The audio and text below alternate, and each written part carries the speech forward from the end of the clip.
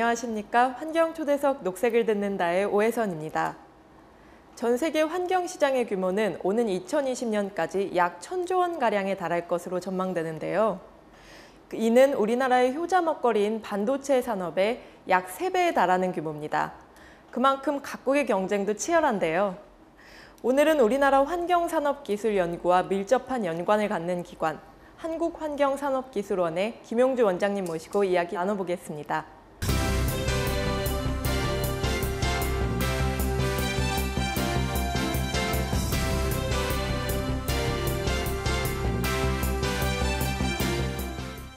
김 원장님 안녕하세요. 안녕하세요. 네, 안녕하세요. 우선 환경TV 시청자분들께 인사 말씀 부탁드립니다. 네, 안녕하십니까. 한국환경산업기술원 김용주 원장입니다.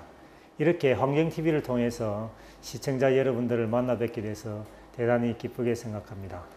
저희 한국환경산업기술원은 더 나은 환경과 경제를 미래 세대에 물려주기 위해 노력하는 환경부산화 공공기관입니다.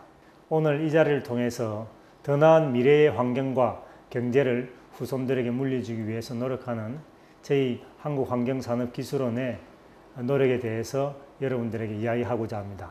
여러분들께서도 이러한 이야기에 동참하셔서 앞으로 환경과 경제가 상생하는 그러한 사회를 그려보시는 데 도움이 되기를 바랍니다. 환경산업기술원 하면 무언가 환경기술을 개발하는 분위기가 물씬 나는데요. 이제 어떤 일들을 하시는지 소개 좀 부탁드립니다. 네, 한국환경산업기술원 하면은 네. 그 이름에서도 알 수 있듯이 환경기술 및 환경산업 지원법에 따라서 설립된 그러한 기관입니다. 네. 2009년도에 한국환경기술진흥원과 친환경 상품진흥원을 통합해서 네. 만들어진 그런 기관인데요. 네. 아, 저희들이 어, 크게 네 가지 사업을 하고 있습니다. 첫째 사업은 환경 기술을 개발하는 사업입니다. 네. 두 번째는 이러한 기술을 바탕으로 환경 산업을 육성하는 그러한 사업을 하고 있고 네. 셋째로는 어, 친환경 제품 인증이라든지 하는 각종 인증 제도를 저희들이 영위하고 있습니다. 음, 끝으로 어, 국민들이 친환경 생활을 할 수 있도록 네. 녹색 소비, 녹색 구매, 더구나 녹색 생산까지 저희들이 활성화시키고자 하는 친환경 생활 확산 업무도 저희들이 하고 있는 업무 중에 하나입니다. 아 그렇군요. 네, 개인적으로 저는 기술 분야 쪽에 관심이 가는데요. 원장님이 보시기에 가장 유망한 분야는 어느 분야라고 생각되시나요? 네, 환경 기술 분야가 아주 다양하고 네. 어, 중요한 기술들도 대단히 많습니다만은 네. 굳이 뽑으라면은 최근에 기후 변화 대응 기술 이 음, 대단히 유망한 분야라고 생각됩니다. 또 그렇죠. 중요한 분야고요. 네. 어, 저는 개인적으로 이 기후변화 대응 기술을 우리 인류가 가져왔고 현재 가지고 있는 기술 중에 가장 중요한 기술이라고 말하곤 합니다. 네. 왜냐하면 우리가 기후변화 대응에 자칫 늦어지다가 늦어지다가는 뭐 언젠가 우리가 다른 지금 현재 사용하고 있는 혹은 개발하고 있는 기술들은 사용하지 못할 그런 때가 올지도 모르기 때문에 이러한 기후변화 대응 기술 대단히 중요하다고 이렇게 생각을 합니다. 네. 특히 기후변화로 인해서 발생되는 환경 문제들이 전 지구적으로 너무나 다양하게 또 빠른 속도로 확대되고 있습니다. 특히 우리나라의 경우에는 세계 평균 기온 상승보다도 두 배 이상의 평균 기온이 상승하는 지난 물론 지난 100년간이지만 네. 그러한 지금 어, 어, 위험에 처해 있습니다. 그래서 이러한 기후 변화 대응 기술을 개발하면은 지구 온난화 문제 해결에 도움이 되고 또 네. 특히 가뭄, 홍수 피해, 또 수질 저하, 물 부족, 대기 오염, 생태계 훼손 등 여러 가지 세계적으로 문제가 되고 있는 그러한 환경 현안들을 해결하는 데 대단히 큰 도움이 됩니다. 또 제가 유망 분야라고 생각하는 게 있는데 그것이 우리 생활 주변의 유해인자, 예를 들면 초미세먼지, 네. 또 biocide, 특히 폐암을 일으키는 라돈 방사능 등에 대한 기술 개발도 대단히 중요하다고 생각합니다. 이런 기술은 특히 국민의 건강과 생활 환경에 직결되고 있고 그만큼 국민들이 체감할 수 있는 영향력도 크기 때문입니다. 혹시 제가 한 가지 더 기술을 소개해 드릴 여유가 있는지 모르겠는데 네. 기술을 소개 한번 해보겠습니다. 아, 저희들이 환경난제 기술이라는 것이 있습니다. 네. 이것은 우리 국민이든 현장에서 체험하는 환경 문제가 우리 생각보다는 해결되지 않는 일- 문제들이 많습니다. 그런 것들이 어떤 것인지 저희들이 약 54만 개 언론 보도, 주요 언론 보도 내용을 종합해서 네. 우리 실생활에서 나타나는 난제 문제를 분석해 보니까 이러저러한 환경 문제들이 있었습니다. 이러한 문제를 해결하기 위해서는 어느 특정 하나의 기술이 중요한 것이 아니라 여러 가지 기술이 결합되어서 이루어져야만이 문제를 해결할 수 있는 그러한 분야입니다. 그래서 예컨대 1, 2, 3, 4, 5번 기술이 필요한데 네. 4번 기술이 빠지면 그 전체가 이 빠진 기술이 되는 거죠. 그러면은 저희 환경산업기술원에서는 4번 기술을 개발해서 1번부터 5번까지 기술이 서로 연계되어서 하나의 문제를 해결할 수 있도록 하는 네. 그러한 기술도 저희들이 개발하기 위해서 여러 가지 조사도 진행한 바 있습니다. 어, 이제 본론으로 들어가 보겠습니다. 다양한 R&D 분야 중에 눈에 띄는 것 하나가 대기오염 물질 관련 기술인데요. 이제 FTA를 맺은 중국도 관심이 많은 분야라고 생각됩니다. 그렇죠. 예. 네, 어떤 기술들이 개발되고 있나요? 예, 대기오염 물질과 관련한 기술로는 발전 시설, 소각 시설 같은 대형 배출 시설에서 배출되는 그런 미세먼지 네. 제감을 위한 집진 기술이라고 있습니다. 음, 또 질소 산화물 저감을 위한 탈질 기술, 또 악취 문제를 유발하는 휘발성 유기화합물 처리 기술, 그리고 위성체를 활용하는 대기 감시 기술 등까지 여러 가지 저희들이 지원을 하고 있습니다. 네. 특히 2015년부터는 미세먼지 환경 기준이 강화될 것에 대비해서 초미세먼지 저감 기술을 확보하기 위해 노력하고 있습니다. 최근 우리나라와 FTA를 맺은 중국에 대해서는 철강 분야 대기오염 방지를 위한 실증 협력 사업을 추진해서 중국의 주요 미세먼지 발생 원인 제철소, 그다음에 석탄 화력 발전소에 한국의 우수 기술을 적용하는 기술 협력이 추진될 예정입니다. 이를 통해서 아시아 지역의 미세먼지 저감은 물론 우리 환경기업의 중국 진출에서 가장 큰 애로사항이었던 중국 현지 실적도 확보할 수 있을 것으로 기대됩니다. 네, 녹조 때문에 수질을 깨끗하게 하는 기술도 요즘 관심들이 많으신데요. 네. 이제 우리가 마시는 수돗물을 얻기 위해 유해 물질을 제거하는 수처리 기술들도 개발, 개발되는 걸로 알고 있습니다. 네. 소개 좀 부탁드릴게요. 네, 녹조가 상수원수의 수질에 또 맛에 냄새에 영향을 미칠 수는 있습니다. 그래서 상수원수 내에 존재하는 미량의 유기오염 물질까지도 제거할 수 있는 그러한 분리막을 이용한 고도 정수 처리 기술 개발을 지원하고 있습니다. 네. 또한 잔류 유기오염 물질의 처리를 위해서도 고도 산화 정수 처리 기술이라는 것을 지원하고 있습니다. 그 밖에도 상수 원수의 수질과 오염 정도에 따라서 정수 처리 조건이 결정되도록 하는 그러한 수질 맞춤형 정수 처리 시스템도 개발하고 있고 또 상수원에서부터 가정의 수도 꼭지에 이르는 전 과정을 체계화시켜 관리할 수 있도록 하는 통합 관리 시스템을 개발하는 것도 저희들이 지원하고 있습니다. 네. 그런데 일각에서는 이렇게 개발된 기술들의 실용화가 잘 안 되고 있다는 지적이 있습니다. 이제 올해 국정감사에서는 이와 관련해 예산 낭비라는 지적도 있었는데요. 이제 원장님은 이를 어떻게 보시는지요? 네, 환경기술 개발 사업에서 저희들이 실용화를 목표로 하는 기술 개발의 실용화율은 사실은 25.9% 정도 됩니다. 네. 여타 실용화하는 기술 개발의 평균 20% 되는데 거기에 비하면 높은 수준이지요.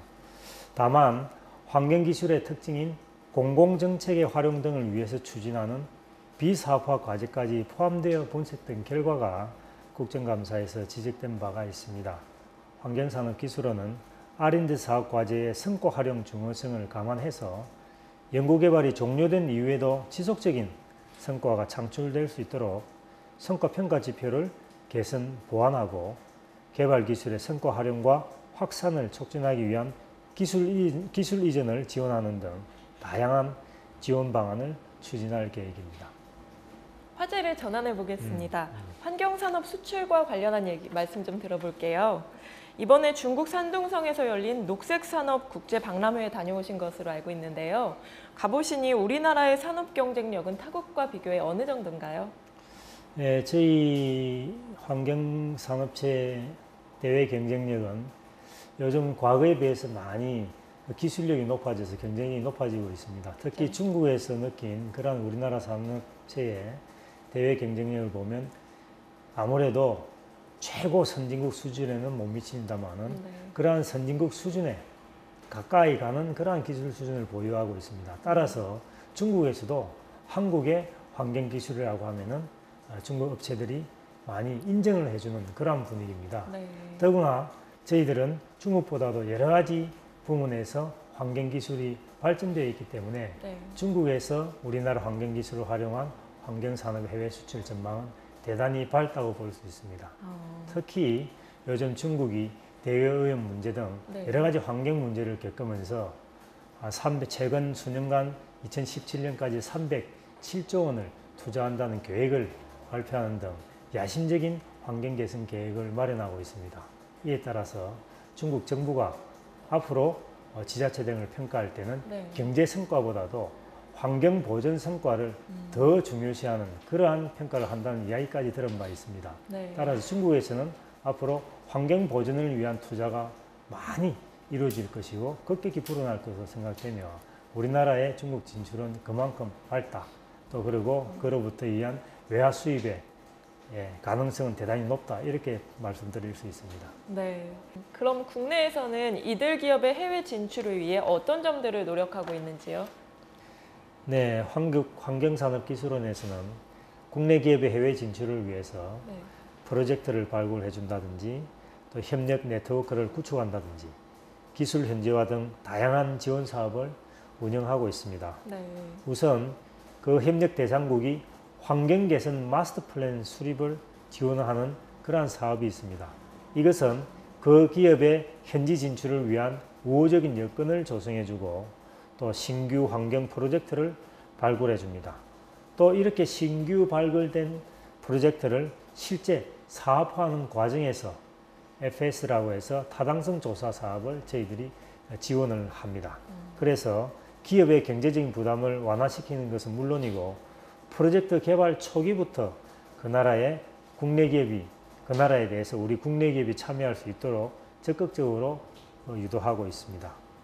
또한 해외 유력 바이어를 국내에 초청한다든지 동시에 해외의 관련 고위 공무원들을 초청해서 국내 기업들에게 네트워크 기회를 제공하는 것도 저희들이 하는 큰 일 중에 하나입니다. 네. 끝으로 또 수출 지원 상담센터, 또 해외 환경 협력 센터, 이런 또 국제 공동 사업 등을 통해서 우리 기업의 해외 진출 및 수출 확대를 지원하고 있습니다. 참고로 저희들이 지금 베트남, 알제리, 콜롬비아, 인도네시아, 중국 등 5개국에 대해서 환경산업 협력센터를 설치 운영하고 있고 이러한 센터 역할이 점점 어, 중요해지고 있습니다. 그렇군요. 그렇다면 구체적 사례를 좀 말씀해 주실 수 있으세요? 예, 환경 개선 마스터 플랜 수립이 실제 수주까지 이어진 최근의 사례로서는 네. 알제리 프로젝트가 있습니다. 이 알제리 프로젝트는 알제리의 한강이라고 불려지는 엘 하라시 강의 하류에 대한 환경 개선을 시켜주는 그러한 사업입니다. 네. 이한 알제리 환경 협력의 일환으로 알제리 정부에다가 저희들이 마스터 플랜 수립 사업을 지원한 적이 있습니다. 그 이후 2012년에 이 엘라라시강 하청 복원 사업을 수주했고 그 수주한 액수가 약 5천억 원 정도 됩니다. 그리고 이러한 수주 성공 그리고 어, 하천 어, 복원 사업 어, 성공적으로 마무리되어서 그 후속으로 2014년도 올해에는 콘스탄틴 하천 정비 사업 약 2천억 원, 원을 수주하는 그러한 쾌거까지 거둔 바가 있습니다. 네, 또한 국내 기업 네트워크 확대를 위한 행사 중에서 대표적으로 Global Green Hub Korea라고 해서 GGHK 행사를 들 수가 있습니다. 이 행사를 통해서 해외 권역별 주요 발주처와 1대1 기업 비즈니스 미팅을 추진해서 국내 기업 진출의 교두보를 마련합니다. 여기서 발굴된 프로젝트를 중심으로 환경시장 개척단을 해외로, 해외로 파견한다든지 아까 말씀드린 마스터 플랜을 짜준다든지 또 해외의 타당성 어, 검사를 한다든지 해서 환경산업 수주 지원을 위한 연결 프로그램을 저희들이 운영하고 있습니다. 네, 이제 소비자 얘기를 좀 해보겠습니다. 기술원에서는 환경 제품이라고 인증해주는 환경 마크 제도 등 이제 몇 가지 제도를 운영 중인 것으로 알고 있는데요. 이제 그런데 소비자들 입장에서 환경 친환경 제품인지 여부를 이제 알기 쉽지 않다고들 합니다. 음, 그래서 왜 그럴까요? 에, 우리나라 국가 공인 환경 인증 제도로는 환경 마크 제도 또 탄소 성적 표지 제도 등이 있습니다. 네. 근데 환경 마크는 같은 용도의 다른 제품에 비해서 제품의 환경성이 얼마나 더 나은지 하는 것을 보고 네. 친환경 제품을 인정하는 것이고 또 탄소 성적 표지는 제품의 생산부터 폐기까지 전 과정에서 발생한 온실가스 배출량을 이산화탄소로 환산해서 표기하는 그러한 제도입니다. 네. 그 밖에도 기업 스스로가 제품의 환경성 개선을 표시하고 이를 광고하고 있는 경우도 있습니다. 그런데 문제는 이러한 친환경적인 속성이 없음에도 불구하고 마치 친환경적인 속성이 있는 것처럼 위장해서 친환경 제품이라고 표시하는 그러한 친환경 위장 제품이 증가해서 그렇죠. 소비자들을 혼란스럽게 한다는 데 있습니다. 네. 실제로 2012년도에 한국 소비자원 조사에 따르면 친환경 제품이라고 표시된 제품의 약 절반이 이러한 친환경 위장 제품인 것으로 밝혀진 바가 있습니다. 네. 그래서 환경부와 저희 한국환경산업기술원은 네. 거짓 또는 과장된 이러한 제품 환경성 표시와 광고를 앞으로 엄격히 감시 관리해서 소비자가 친환경 제품을 믿고 네. 사, 사서 사용할 수 있도록 하는 그러한 건전한 시장 환경을 조성하기 위해서 올해부터 노력에 박차를 가하고 있습니다. 저도 친환경 위장 마크 제품이랑 친환경 제품이랑 그 마크가 조금 혼동이 예, 되더라고요. 그렇죠. 그래서 예. 친환경 마크를 좀 더 이제 많이 홍보를 해서 알려야 되지 않을까 하는 생각도 드는데요. 네, 그렇죠. 열심히 하겠습니다. 예. 네. 그래서 말씀 잘 들었고요. 그럼 오늘 끝으로 환경 TV 환경 TV 시청자분들께 마지막 말씀 부탁드리겠습니다. 네, 한때 환경과 경제가 상충되는 시대가 있었습니다. 그때는 환경을 보존하고자 하면은 경제가 제외되고 또 경제 발전을 이룩하자고 하면은 환경 보전이 제외되는 그러한 때가 있었습니다. 그러나 요즘과 같이 환경 기술이 발달하고 환경 산업 육성에 온 국가들이 힘을 쏟는 이 시대에 있어서는 그러한 환경과 경제의 갈등은 옛날의 이야기로 어, 치부되고 있습니다. 지금은 저희들이 하는 일이 바로 그러한 환경과 경제의 상승을 위한 그러한 일들입니다.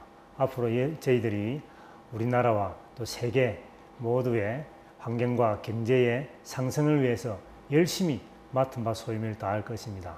여러분들께서도 저희들을 적극 격려해 주시고 환경과 경제의 상생, 나아가서 미래 세대의 미래 세대를 위한 우리들의 노력을 함께 보여주는데 적극 저희들 기술원의 업무에 관심을 가지고 동참 동참하여 주셨으면 합니다. 감사합니다. 저도 앞으로는 환경 산업에 더 관심을 갖고 친환경 제품을 사용하도록 노력해야겠다는 생각이 듭니다. 아, 감사합니다. 네, 오늘 허심탄회한 말씀 감사하고요. 귀한 시간 내주셔서 감사합니다. 네, 감사합니다. 감사합니다. 우리 사회가 지속적으로 발전해 나가기 위해서는 환경과 경제가 균형을 이루며 나가야 현대 사회의 조화를 이룰 것 같다는 생각이 듭니다. 환경 초대석 녹색을 듣는다. 오늘 여기서 마치겠습니다. 고맙습니다.